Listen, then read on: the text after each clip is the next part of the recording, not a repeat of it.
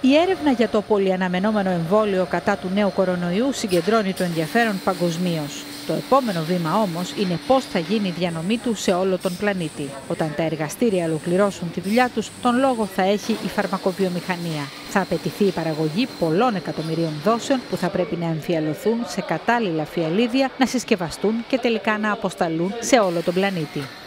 Λίγο έξω από τη Ρώμη, το εργοστάσιο της πολυεθνικής Catalent ειδικεύεται στην παραγωγή φιαλιδίων για ιατρική χρήση.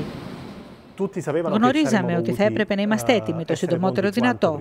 Όταν το προϊόν του εμβολίου εγκριθεί από τις αρχές, θα πρέπει να είμαστε έτοιμοι για την άμεση διανομή του, ώστε να βοηθήσουμε τον κόσμο. Όλοι το ξέρουν αυτό. Η πραγματική πρόκληση ήταν η μάχη με το χρόνο. Αυτό που δεν ήταν εύκολο ήταν να βρεθούν οι πρώτες ύλες σε μικρό χρονικό διάστημα. Πλέον το εργοστάσιο είναι σχεδόν έτοιμο να παράξει έως και 400 εκατομμύρια δόσεις.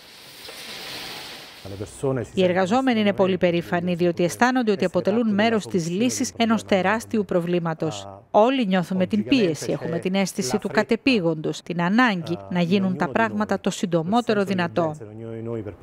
Το μεγαλύτερο μέρος της διαδικασίας δεν αφορά εμάς, αλλά το δικό μας σκέλος της δουλειάς πρέπει να είναι τέλειο και οι εργαζόμενοι εδώ το γνωρίζουν καλά.